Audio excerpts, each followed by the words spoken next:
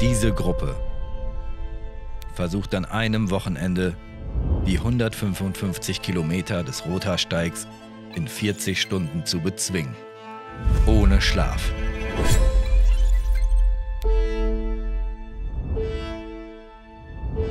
Oh Gott, das macht überhaupt gar keinen Sinn, ehrlich gesagt. Es ist wirklich so hart gerade. Dies ist der erste Teil der Geschichte.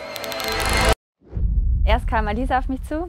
Die hatte das irgendwie, nachts ist ihr die Idee gekommen. Ich habe dann irgendwie Mary angerufen und habe gesagt, lass doch mal den gesamten Rotersteig machen. Und ich war erst so, oh nee, wirklich nicht. Das ist viel, viel, viel zu lang.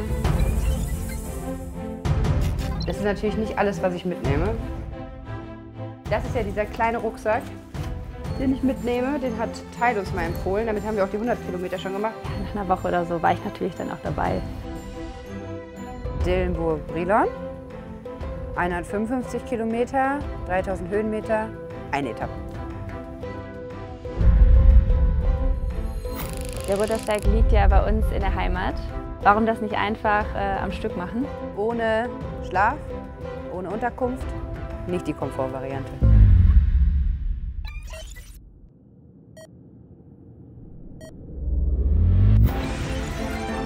Wir sind jetzt hier in der schönen Oranienstadt Dillenburg, direkt vom Hauptbahnhof. Und starten in ein entspanntes, schönes, ausgedehntes Wanderwochenende. These will be the first two ladies to finish the Rottersteig non-stop. Danke, dass ihr dabei seid. Einmal noch kurz. Hug, group hug.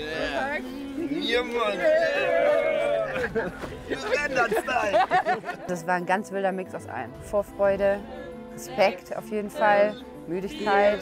Drei, zwei, eins. 6 Uhr, let's go und dann sind wir einfach losgelaufen. Deutschland! Da sind wir einfach losgelaufen